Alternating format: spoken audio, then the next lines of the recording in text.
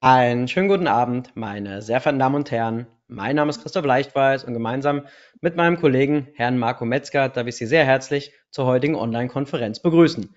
Kapitalmärkte und strategische Vermögensverwaltung. Was waren die Bewegungen an den Kapitalmärkten? Welche Themen werden diskutiert? Und was Sie als Investor natürlich am meisten interessieren wird, wie sind denn die beiden Strategien, Faktor Portfolio und Faktor Depot, positioniert, um diesem Umfeld gerecht zu werden. Wir werden Ihnen selbstverständlich die Aufzeichnung der Online-Konferenz im Nachgang zur Verfügung stellen und inhaltlich haben wir es so aufgeteilt, dass ich eher den makroökonomischen Teil übernehmen werde und Herr Metzger konkret die Details zur Portfolio-Positionierung. Die Dauer peilen wir mal mit rund 30 Minuten an. Die Themen im Überblick. Wir schauen zunächst kurz auf die Konjunktur, dann auf die Inflation. Die ist natürlich immer sehr wichtig, auch für die Geldpolitik. Die Geldpolitik ist wichtig für die Wechselkurse und die Wechselkurse haben wiederum Einfluss auf die mögliche Inflationsentwicklung. Und warum die Europäische Zentralbank sich hier in einer Zwickmühle befindet, das werden wir uns in diesem ersten Teil anschauen. Dann die Entwicklung an den Kapitalmärkten. Was haben denn die großen Vermögensklassen getan? Was war bei globalen Aktien? Wie sah es bei den europäischen Renten aus? Und wie sind die Strategien von ihrer Wertentwicklung in dieses Marktumfeld einzuordnen? Dann, was waren die bestimmenden Themen an den Märkten? Und was waren Treiber in den Strategien? Also auch der Blick hier konkret in das Portfolio und Positionierung der Strategien. Das zieht sich als roter Faden durch. Also, das die Themen, die wir uns betrachten werden. Und wir schauen zunächst mal auf Deutschland. Und ähm, Sie kennen diesen Spruch, ich glaube, von einem bekannten deutschen Dichter. Ich weiß nicht mehr, Goethe oder Schiller. Denke ich an Deutschland in der Nacht, dann bin ich um den Schlaf gebracht. Und ich will das jetzt gar nicht auf das politische Umfeld hier projizieren, sondern es geht viel eher darum, dass wir uns anschauen, wie ist denn die Stimmung bei den deutschen Unternehmen und ein sehr, sehr guter Indikator seit einer langen Zeit ist hier der sogenannte IFO Geschäftsklimaindex. Dort befragt man Unternehmen zum einen zu ihren Erwartungen an die nächsten sechs Monate. Das sehen Sie hier in blau abgetragen und zur aktuellen Lage. Das sehen Sie in rot und zusammengesetzt eben dann hier in Türkis, dieser IFO-Geschäftsklima-Index, den Sie auch oft in den Medien finden. Und wenn wir zunächst auf die Zeitreihe hier oben blicken, dann sehen wir, dass wir uns schon längere Zeit in einem Abwärtstrend beziehungsweise in einem Seitwärtstrend auf sehr, sehr negativem Niveau befinden. Aber jüngst, und das sehen Sie hier unten, bei diesen Balken, das jeweils die Monatsdaten. Hier können wir eben sehen, dass zumindestens auch mal dann die Erwartungskomponente zwei Monate in Folge nach oben gerichtet war und jetzt auch jüngst die Datenpunkte insgesamt nach oben gerichtet. Also sprich die Lage in Deutschland. Wir sind zwar sehr gut dabei, unsere Schulden deutlich niedriger zu halten als zum Beispiel die Vereinigten Staaten von Amerika. Die haben ja ein Defizit von rund sieben Prozent, also die man mehr ausgibt, als man einnimmt, um die Wirtschaft zu stimulieren. Auch viele europäische Nachbarländer hier mit Defiziten, aber durch diese Defizite schafft man es eben, die Wirtschaftsleistung entsprechend hochzuhalten. Deutschland, hier steht aktuelles Thema Schuldenbremse im Fokus. Auch die Regierung natürlich mit den bekannten Themen, die Sie alle aus den Schlagzeilen und Nachrichten kennen. Und das zeigt eben, dass Deutschland momentan mit vielen, vielen Problemen zu kämpfen hat. Manche exogene Schocks, manche hausgemacht, manche auch politisch und strukturell nicht richtig angegangen über die letzten 15 bis 20 Jahre. Und das führt eben dazu, dass Deutschland momentan im internationalen Vergleich der Industrienation momentan fast ganz hinten rangiert. Als Einwohner in diesem Land ist das natürlich negativ, weil wir leben hier. Als Steuerzahler ist das vielleicht perspektivisch auch schlecht und die Perspektive als Anleger, die ist eine andere, weil wenn ein Unternehmen in Deutschland seine Produktionskapazitäten schließt, beispielsweise nach Polen, nach Kanada oder nach Mexiko abwandert, dann kann mir das als Aktionär egal sein.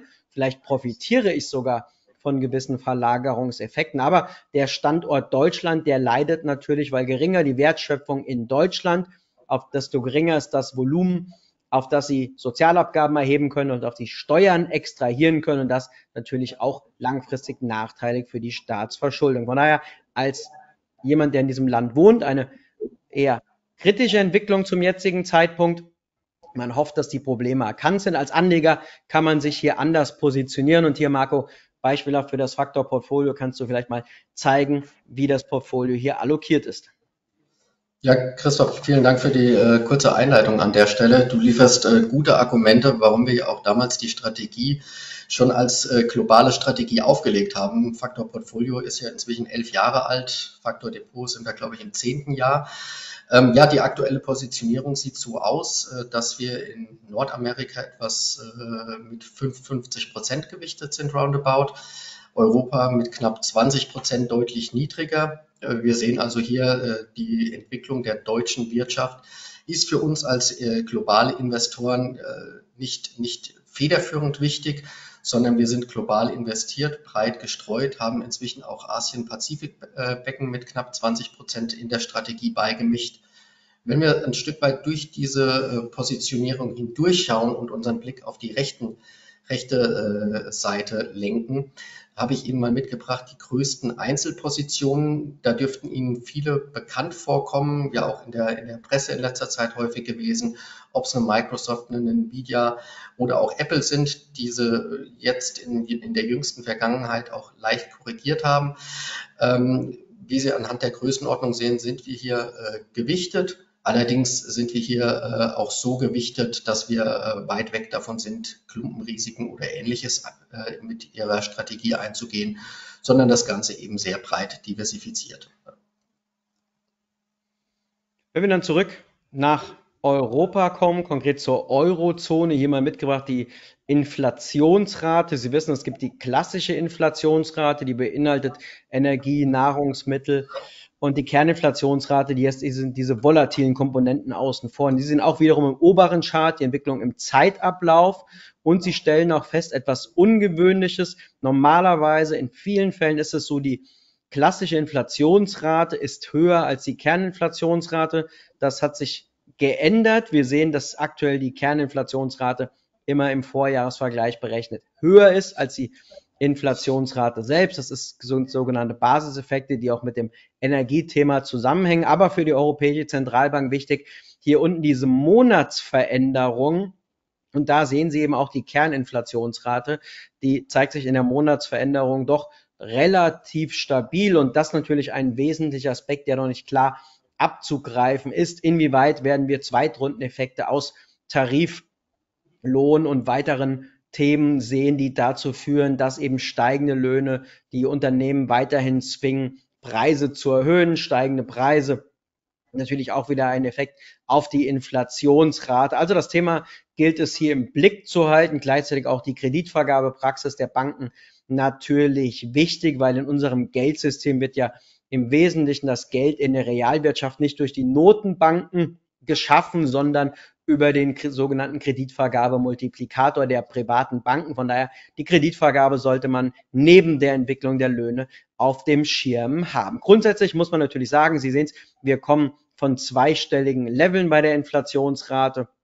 Thema Energiepreis schockt natürlich. Jetzt kamen wir deutlich nach unten. Zielgröße ist ja um die zwei Prozent. Jetzt könnte man sagen, na gut, dann kann man die Zinsen ja senken, insbesondere wenn die Lokomotive, die eigentliche Lokomotive in Europa mit Deutschland aktuell schwächelt. Aber Sie sehen schon diese Thematik, die der Wechselkurs des Euros gegenüber dem US-Dollar, da schwingt natürlich mit, dass eigentlich die Erwartungshaltung war, die US-Notenbank wird die Zinsen senken, bevor die Europäische Zentralbank die Zinsen senken muss. Aber wenn wir die Daten in den USA betrachten, ja, es ist vieles schuldenfinanziert, aber am Ende des Tages die amerikanische Wirtschaft in vielen Fällen deutlich positiv überrascht in Relation zu den Erwartungen. Nun die Komponente könnte die gute Wirtschaftslage, der gute Arbeitsmarkt, der stabile Einzelhandel und viele weitere Faktoren dazu führen, dass die amerikanische Notenbank die Zinsen später senkt und im Euro senken wir die Zinsen früher,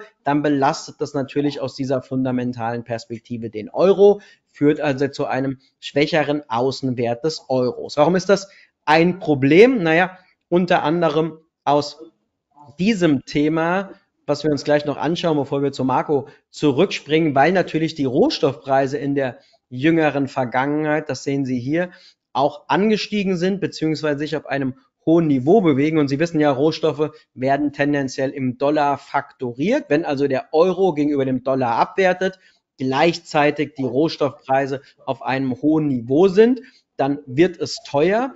Dann haben wir eine sogenannte importierte Inflation. Und das ist natürlich wieder negativ für die geldpolitische Stabilität der Europäischen Zentralbank. Also auf der einen Seite, die Wirtschaft schwächelt etwas, plus die Gesamtschuldensituation spricht für fallende Leitzinsen. Auf der anderen Seite fallende Leitzinsen bei hohen US-Leitzinsen führt zu einem schwachen Euro und das hat wiederum Komponenten, die die Inflation begünstigen. Und das auch wiederum ein Aspekt, warum wir glauben, dass es Sinn macht, sich global aufzustellen. Und man sieht das hier auch sehr gut beim Thema Währungsallokation.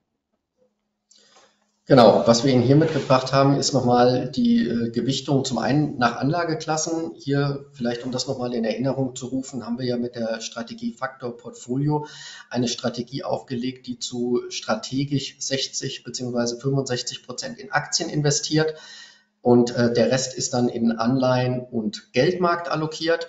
Aktuell aufgrund der gestiegenen Aktienmärkte der letzten Wochen und Monate liegen wir bei 67,5 Prozent in etwa, was die Aktienquote angeht, und 32,5 Prozent in Renten.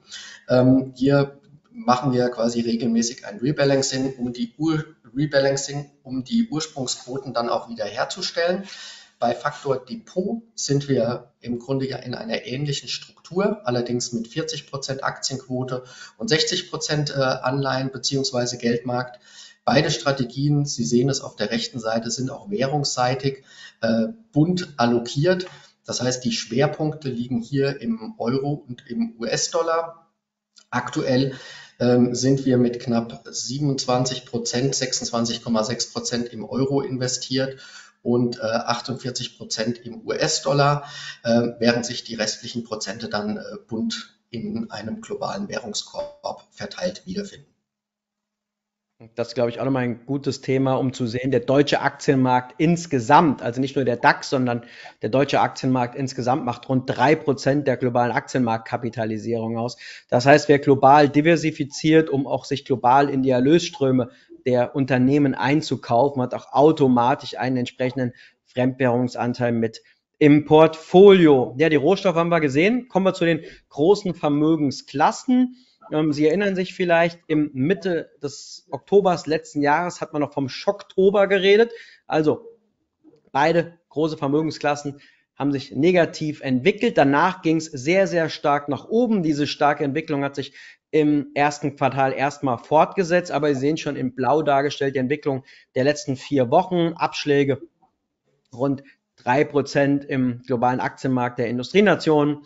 Dennoch seit Jahresbeginn noch ein Plus. Wir sehen die Schwellenländer insgesamt nun auch seit Jahresbeginn nur noch leicht positiv. Gold mit einer sehr positiven Entwicklung, auch wenn man hier von den Höchstwerten schon wieder zurückgesetzt hat. Grund natürlich zum einen, dass die Notenbanken ihre Stände aufgestockt haben. Zum anderen muss man sagen, gab es auch eigentlich viele Argumente wie den starken Dollar, die hohen Nominalzinsen, die hohen Realzinsen im Dollar, die gegen den Goldpreis gesprochen haben. Trotzdem hat sich Gold gut entwickelt. Also das war ein bisschen ungewöhnlich und man wird jetzt schauen, wo sich das Ganze einpendelt. Dann Rohstoffe eben schon als Thema besprochen. Und Sie sehen eben auch diesen Gegenwind, den wir angesprochen hatten, ähm, im, bei den Anleihen wenn wir mal hier den europäischen Anleihenmarkt betrachten, seit Jahresbeginn minus 1,5 Prozent. Das sind im Wesentlichen Staatsanleihen. Und je mehr Kreditrisiko sie bei Anleihen enthalten haben, also Unternehmensanleihen auf Hochzinsanleihen und ähnliches, je mehr Kreditrisiko, desto besser war die Entwicklung in Relation zu den sicheren Staatsanleihen. Warum? Weil die Erwartung, dass die Zinsen nicht so schnell fallen, lässt sichere Anleihen fallen aber die positiven Konjunkturaussichten sorgen dafür, dass Kreditrisikoprämien fallen. Und deswegen sind die Unternehmensanleihen haben sich besser gehalten, als wir das bei den Staatsanleihen gesehen haben. Genau. Euro-Dollar, der Wechselkurs, wir haben es angesprochen, im Jahresverlauf minus 3,15 Prozent. Auch hier natürlich die Thematik Währungsprognosen abzugeben, aus unserer Sicht schwer möglich. Ein guter Volkswirt hat mal gesagt, ich habe 30 Modelle zum Euro-Dollar-Wechselkurs und je nachdem, wann ich ins Fernsehen eingeladen werde oder wann eine Zeitung eine Prognose haben will, ziehe ich das Modell aus dem Hut, was die aktuelle Situation am besten abgreift. Ich weiß nur nie genau, welches meiner 30 Modelle gerade das Richtige ist. Ansonsten, was wir gesehen haben, dass ein Index, der die Risikoaversion misst, vereinfacht gesprochen, hier war die Risikoaversion sehr hoch, hier wird die Risikoaversion sehr niedrig und im Einklang mit guten Aktienmärkten und niedrigen Kreditrisikoprämien für die Anleihen haben wir eine niedrige Volatilität gesehen. Die Stimmung der Anleger war sehr gut. Jetzt wieder etwas Verunsicherung. Der amerikanische Leitindex S&P 500 ja mal 5% zurückgesetzt. Wir wissen, statistisch sind 10, 12, 13% Rückgang nichts Besonderes. Nur der Grund Wechsel. Und von daher muss man sagen, jetzt momentan eher das Zurücklaufen von etwas viel Euphorie. Von daher ist das auch erstmal positiv zu werten. Wenn wir uns dann die Strategien im aktuellen Marktumfeld anschauen zu den gezeigten Renditen, Marco, was äh, sehen wir dann? Genau, also was wir sehen können hier am Beispiel das Faktor Portfolio. Ähm, allerdings sind das die Daten zum 31.03. Da ist also dieser Kursrückgang der letzten äh, drei Wochen äh, noch nicht abgebildet. Ähm, was wir dennoch sehen können, ist quasi ja die grundsätzlich sehr positive Wertentwicklung, die im Grunde im Oktober des letzten Jahres begann, als die äh, Aktienmärkte quasi äh, ja, angefangen haben zu steigen. Ähm, und wir sehen dieses Jahr äh, steht die Strategie per 31.03. bei 6,1 Prozent plus. Ähm, vergangenes Jahr äh, ist die Strategie eben durch das sehr starke vierte Quartal noch geendet bei 10,1 Prozent im Plus. Und äh, das sind die positiven Entwicklungen, die wir quasi hier ablesen können. Genau, wichtig an dieser Stelle noch, was wir Ihnen hier immer zeigen, die Marktindizes sind ja das eine, was wir hier machen. Lipper ist ein, äh, neben Morningstar der größte Datenlieferant für Investmentfondsdaten und man schaut sich eben die Kategorie an von Strategien, die global investiert mit einem sogenannten Wachstumsfokus. Typischerweise sind das eben Strategien ab 65% Aktienquote aufwärts.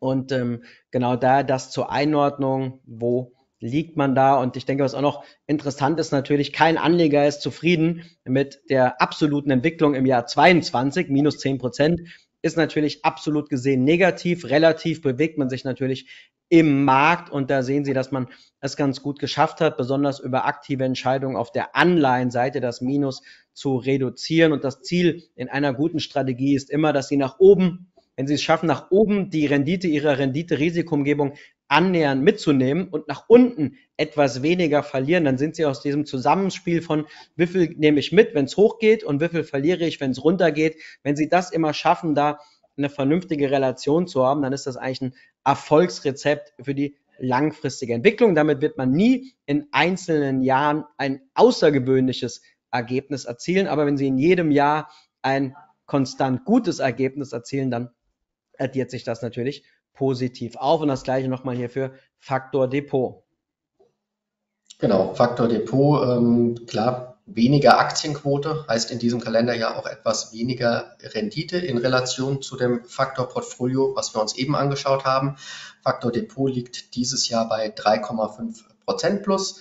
Letztes Jahr äh, mit 8,2 Prozent auch eine sehr erfreuliche Wertentwicklung, die eben schwerpunktmäßig im vierten Quartal entstanden ist, was Christoph eben ja schon äh, angesprochen hatte, auch hier dargestellt im Jahr 22 äh, die Wertentwicklung damals bei minus 9 Prozent ähm, in Relation zur Lipper Group damals eben eine, eine sehr erfreuliche, aus Portfolio-Manager-Sicht eine sehr erfreuliche Wertentwicklung, weil wir uns da relativ zur, äh, zur Lipper Group ähm, doch deutlich besser und stabiler halten konnten, wenn gleich eine minus 9 Prozent natürlich für jeden Anleger nicht unbedingt die Zielrendite ist, aber es gibt eben Phasen äh, am Kapitalmarkt, Ähm, da ist es eben sehr schwierig bis hin zu unmöglich, positive Renditen zu erzielen. Und unser Ziel ist es in diesen Phasen eben, den Schmerz so gering wie möglich zu halten für einen jeden Anleger.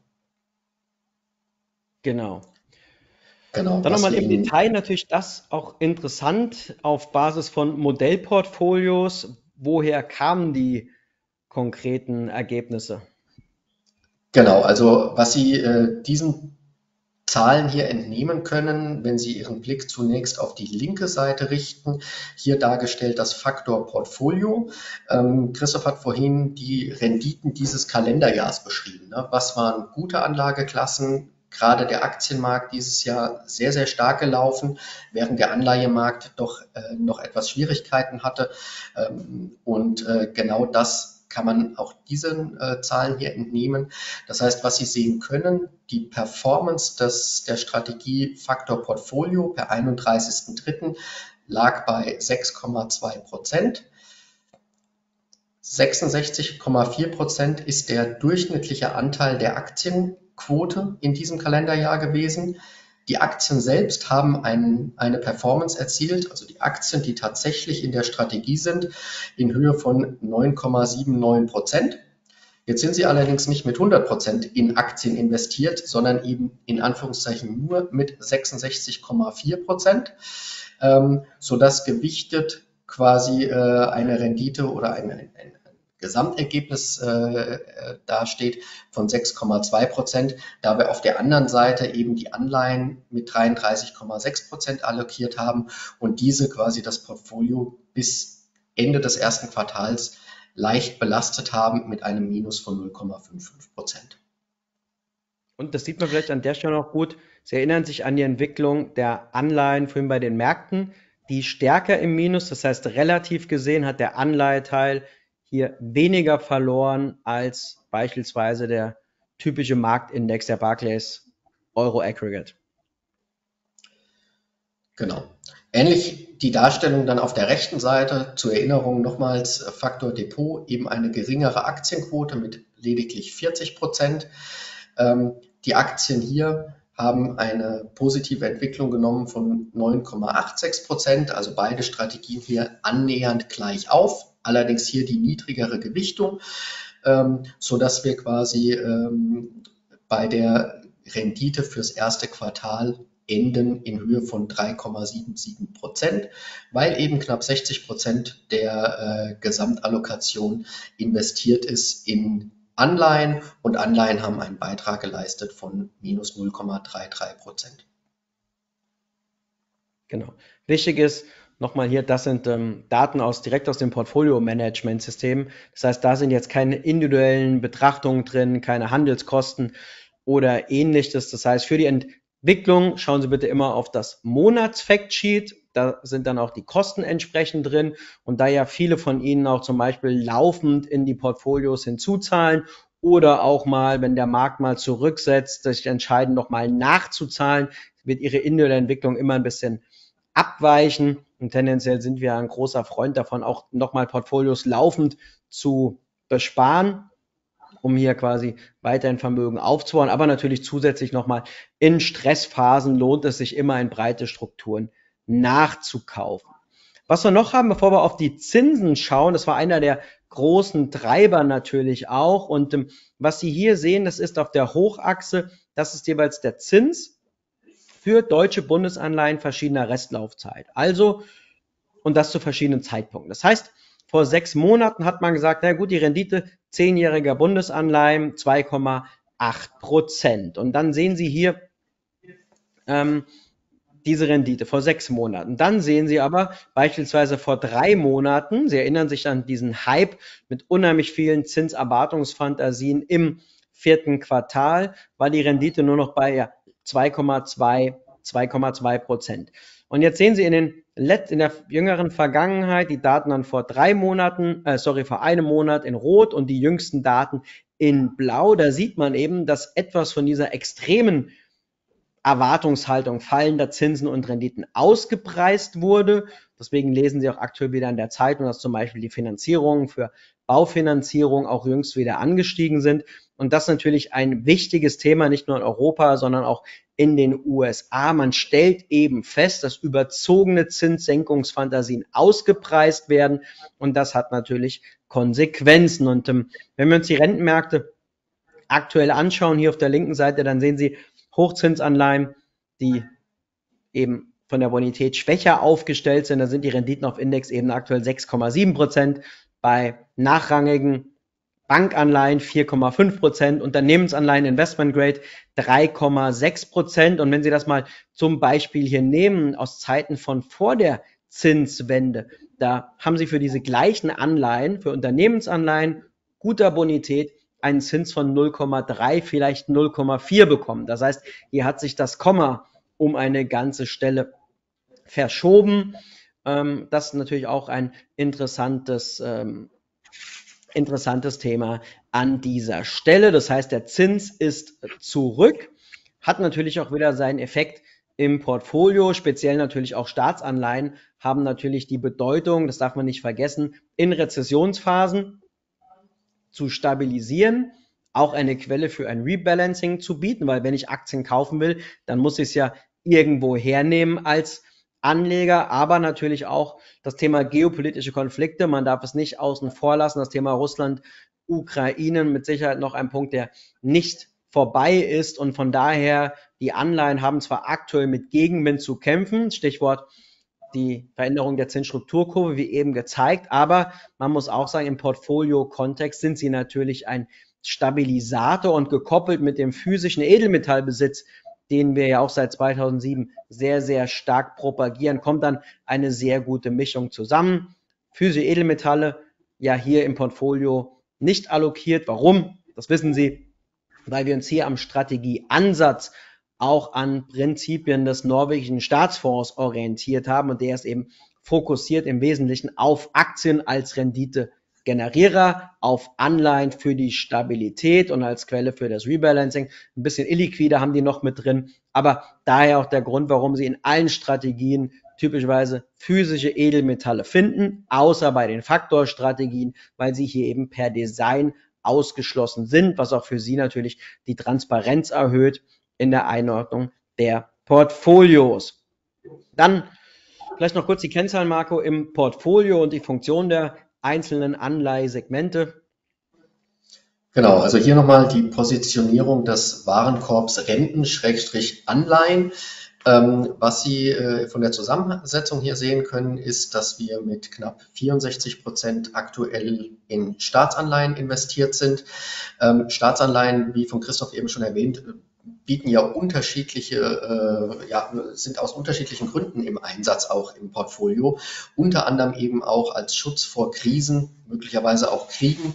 Ähm, und äh, deswegen sind Staatsanleihen bei uns auch typischerweise mit einer etwas längeren Laufzeit allokiert, ähm, während die Unternehmensanleihen im Gegensatz die etwas höhere Rendite aktuell bieten, kürzere Laufzeiten haben.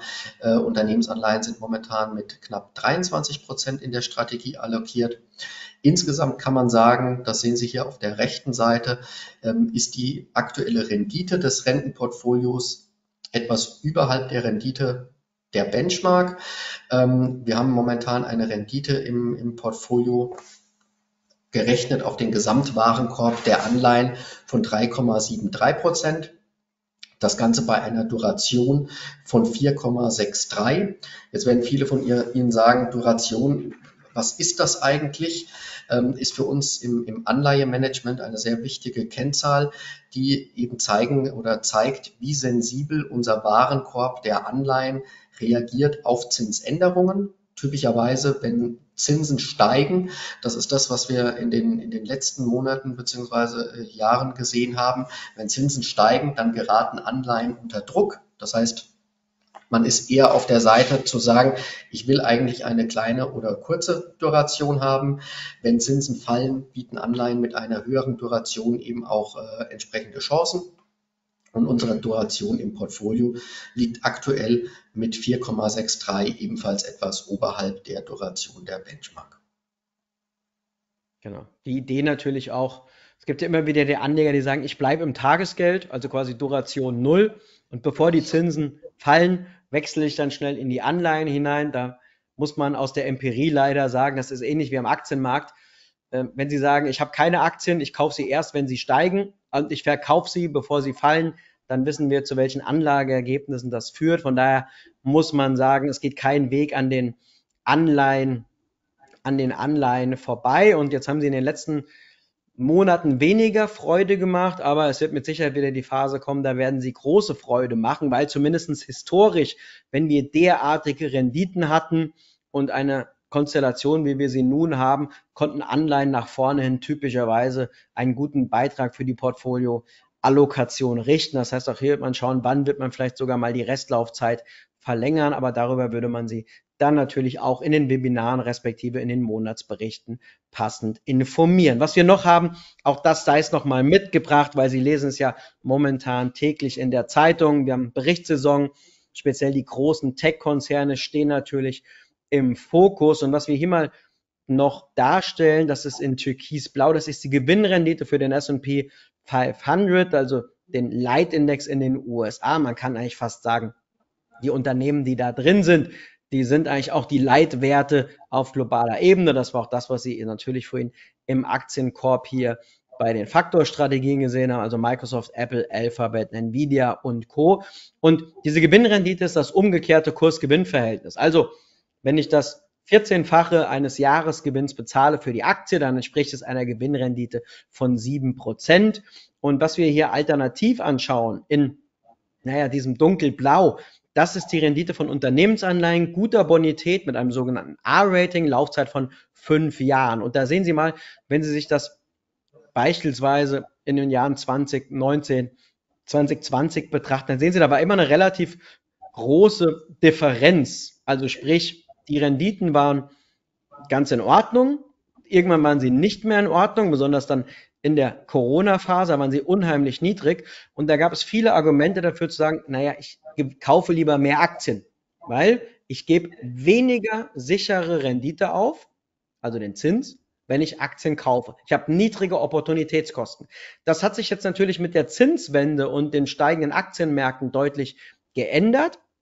Und ähm, jetzt sehen Sie eben auch, dass das sehr eng beisammen liegt. Manche vergleichen gar die Rendite dreimonatiger US-Staatsanleihen mit der Aktienmarktrendite. Das macht natürlich überhaupt keinen Sinn, weil Sie sehen schon die Fristigkeit und ist ganz unterschiedlich. Von daher, das macht ist wie gesagt ein bisschen irreführend und äh, zu plakativ. Von daher eher der Vergleich mit den Unternehmensanleihen ist ähm, da sinnvoller. Und da sehen Sie eben, die Situation ist eine andere. Und daher auch klar, warum man momentan auf die Gewinnentwicklung schaut, weil die jüngsten Kursgewinne an den Aktienmärkten man im Wesentlichen auch Bewertungsausweitungen. Also die Aktienkurse sind gestiegen, weil man die Bewertungen hat steigen lassen.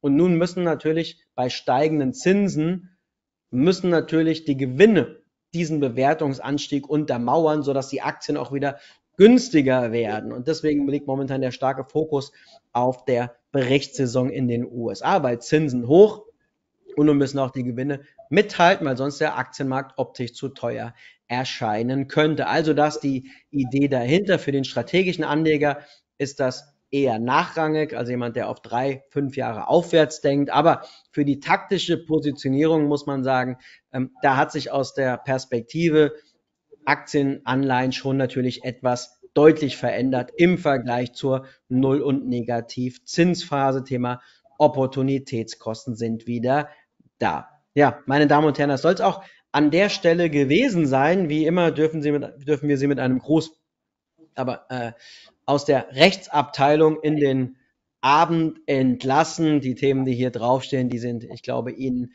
allen klar. Ich hoffe, wir konnten Ihnen die wesentlichen Punkte vermitteln zu den Faktorstrategien. Grundsätzlich gilt natürlich immer der kurze Draht zu uns im Haus, um Details zu besprechen oder natürlich auch zu Ihrem Berater allgemein. Der ist ja auch immer da. Von daher, ich denke, an dieser Stelle, wir haben keine Fragen, können wir auch die Online-Konferenz an dieser Stelle beenden. 19, äh, sorry, 18.34 Uhr.